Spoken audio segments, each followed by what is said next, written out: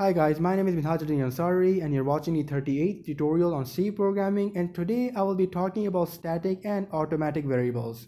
So by default, local variables are automatic variables.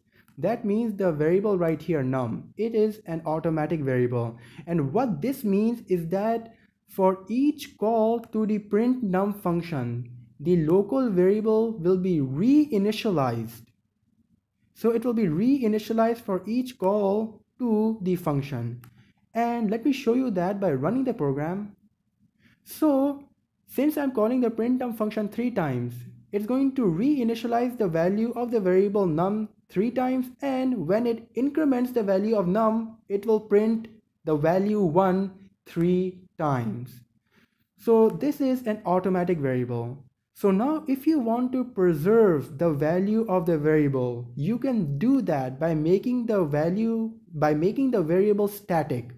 So just write static before the data type and now this value, this variable will be preserved for each call to the printnum function. So let me just show you that by running the program. So I will be getting the output 1, 2 and 3. That means when the printf function is called the first time, the variable num, local variable num is initialized only in the first call to the function. So it is initialized to zero and then the incremented value of the variable num is printed. And then when the printf function is called the second time, it is not initialized again. The previous value of the variable num is used, which was num, so, which was 1. So when the printf statement prints the value of the incremented num, it will print 2.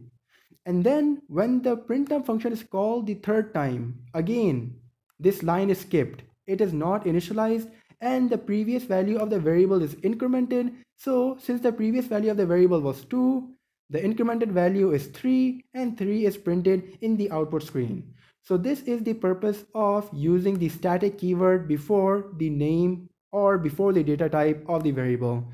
So that is it about static and automatic variables. And before I end this video, I want to give you a good programming tip. The tip is that, I mean, avoid the use of global variables and static variables.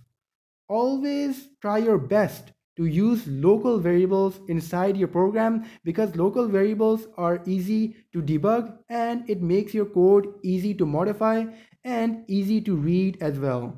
So avoid global variables and avoid static variables. So thanks for watching this video.